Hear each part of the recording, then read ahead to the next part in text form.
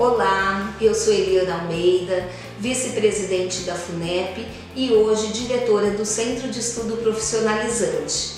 Hoje eu vim aqui para falar para vocês um pouco sobre o nosso centro de estudo. A FUNEP, neste mês, comemora os seus 55 anos e o Centro de Estudo Profissionalizante oferecendo os cursos técnicos há 44 anos. O curso de auxiliar e técnico de enfermagem da FUNEP, ele é na nossa região.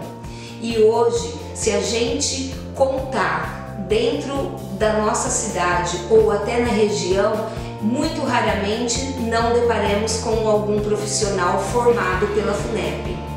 A FUNEP hoje ela investe em novas tecnologias para a gente a cada dia mais melhorar na capacitação dos nossos alunos. Eu quero agradecer toda a confiança depositada à nossa instituição.